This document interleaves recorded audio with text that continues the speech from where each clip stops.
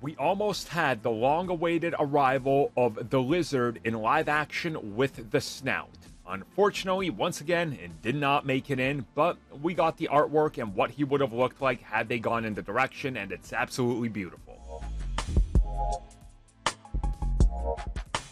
So once again, let's get this out of the way. Just because I like what this looks like more, it doesn't mean I hate the version we got. As a matter of fact, I really like the version we got in The Amazing Spider-Man and Spider-Man No Way Home, and I think he looks great without the snout, but to me, the lizard has a snout, and that's how I like it. And while it made sense that they kept this specific design, this design, to me, is far superior. So once again, what we're looking at here is a more comic accurate, I would say spot on approach to the lizard.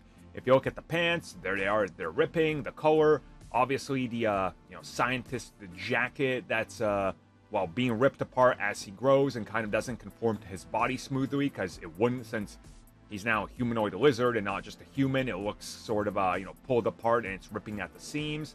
Obviously, the color of him is much different than what we got in The Amazing Spider-Man on No Way Home. Very much more reptilian. Does that make sense? As opposed to the old one. But again, this is concept art. And then the other one was actually live action. So chances are kind of would look similar.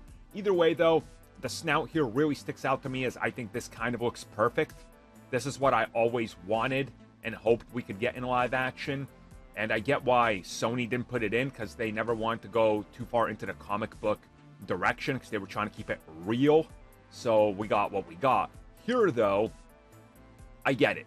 I get why they didn't do this. Same thing with uh, you know Doc Ock. It wouldn't have made sense to evolve the design to be past what we saw previously, especially with the story that they're telling. So ultimately, this did not make it in. I'm still inclined to believe, like Doc Ock, this was designed when they thought they couldn't get the specific actors back and that they were just going to multiverse random Spider Man villains from other parts of the universe. So this was probably a placeholder till the actor signed on. Once he signed on, they knew the design that they were going to get. They just pulled it off from those old, you know, hard drives with the CG. They didn't need to change much. Here, though, they were going in a new direction to definitely differentiate them, and I love this. So if we ever get the proper lizard in the MCU, this is the design I hope they go for.